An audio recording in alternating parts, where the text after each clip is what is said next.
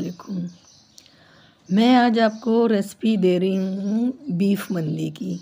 इसके लिए ये सबसे मैं, पहले मैंने दो चम्मच लिया है सौंफ, दो चम्मच ज़ीरा, ये साथ में ये काली मिर्च ली है। ये एक टुकड़ा मैंने दारचीनी का, एक ये बादियान का फूल और एक काली ये बड़ी इलायची ली है।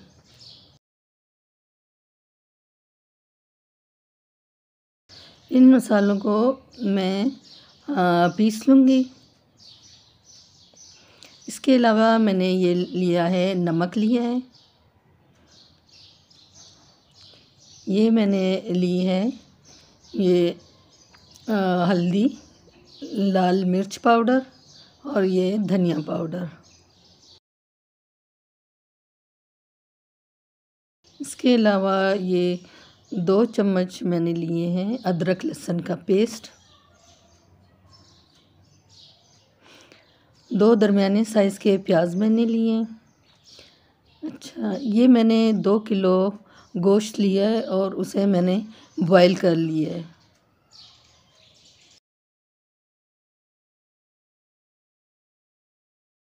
पतीले में हसब ज़रूरत मैंने घी डाल लिया है और इसमें ये प्याज मैं काट लूँगी।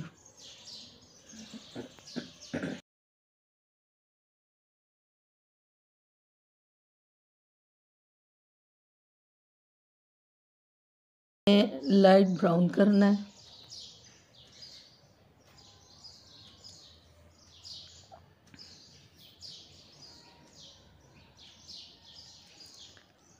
प्याज हमारी लाइट ब्राउन हो गई।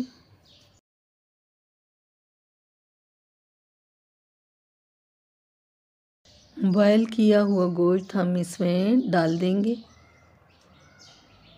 और इस गोश्त को हमने भून लेना है।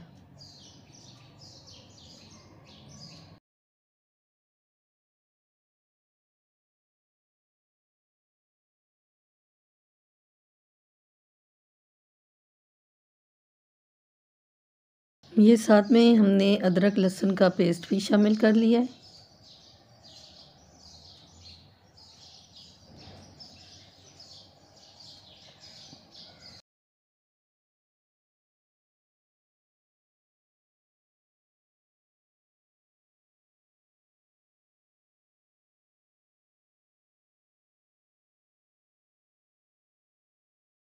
इस पेस्ट को भी हमने गोश्त में भून लिया है। गोश्त भून चुका है।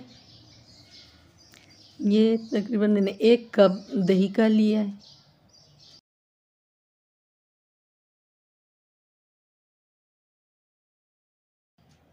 सौंफ और गरम मसाला जो कि मैंने पीस लिया था, वो मैंने इस दही में शामिल कर लिया है।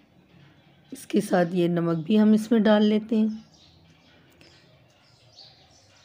ये धनिया पाउडर, हल्दी और लाल मिर्च, ये भी हमने इसमें शामिल कर दिया है।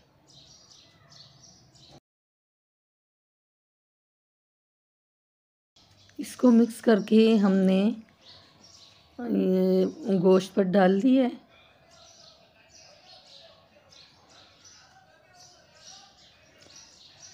अब एक दफ़ा फिर इसकी हमने अच्छे से भुनाई कर लेनी है ताकि दही अपना पानी खुश कर ले।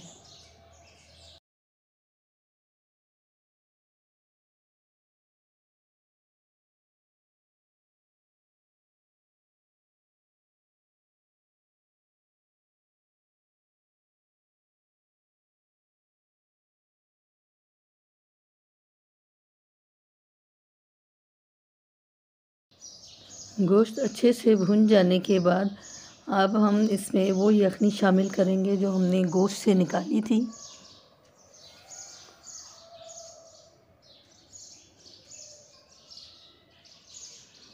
यखनी हमने इस गोश्त में डाल ली है।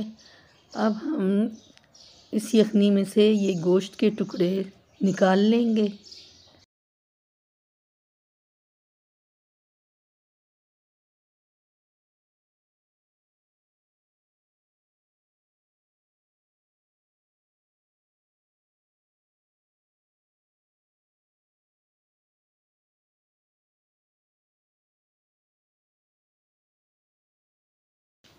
हम इस गोश्त पे हमने ये दो अदद लीमू हमने इसके लिए लिए जो हम इस पर स्क्वीज़ करेंगे और इसके साथ हमने लिया है नमक, हल्दी, लाल मिर्च पाउडर और धनिया पाउडर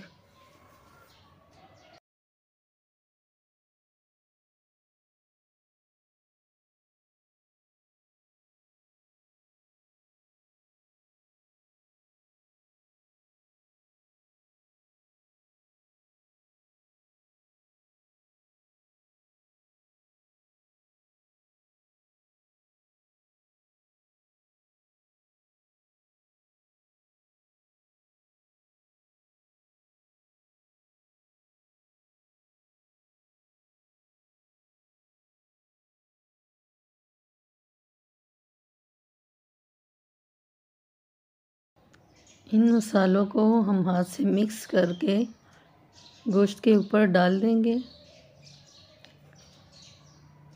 ताकि ये तमाम गोश्त पे अच्छी तरह लग जाए।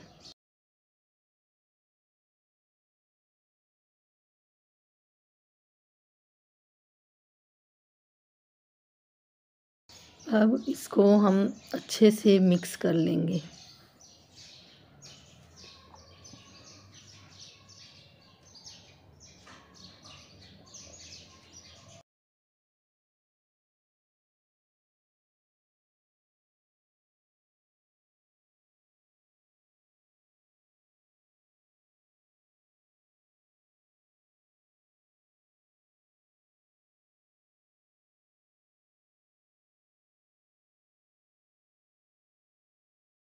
गोश्त को हमने मसाला लगा के तकरीबन पंद्रह बीस मिनट के लिए छोड़ दिया था।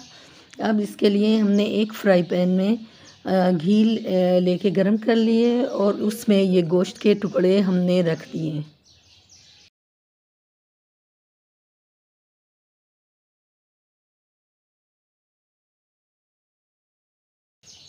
इन गोश्त के टुकड़ों को हमने इस फ्राई पैन में फ्राई कर लेना है।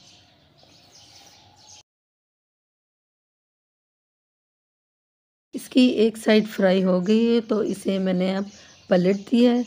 अब दूसरी साइड को भी फ्राई कर लेना है।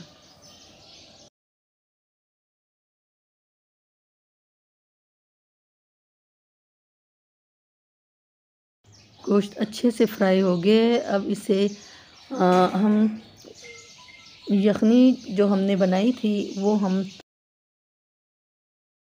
चढ़ा लेंगे।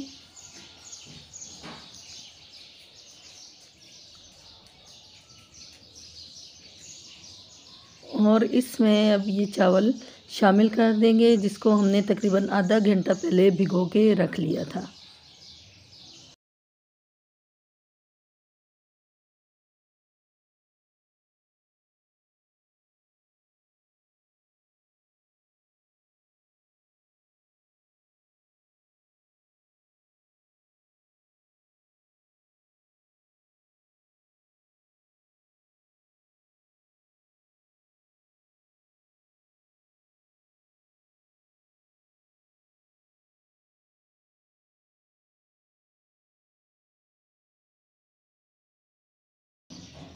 चावलों को हमने मिक्स कर लिया।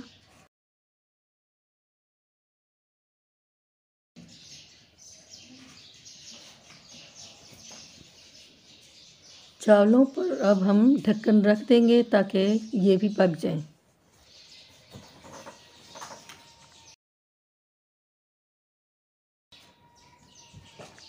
चावल हमारे तैयार हो गए। अब मैं इसे डिश आउट कर लूँगी।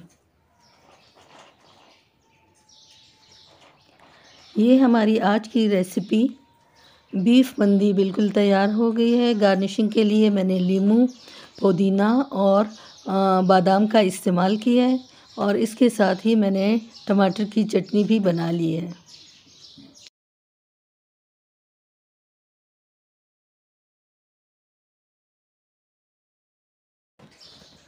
अगर आपको हमारी रेसिपीज़ अच्छी लगती हैं तो प्लीज़ हमारे चैनल को लाइक करें सब्सक्राइब करें और अपने दोस्तों के साथ शेयर करें।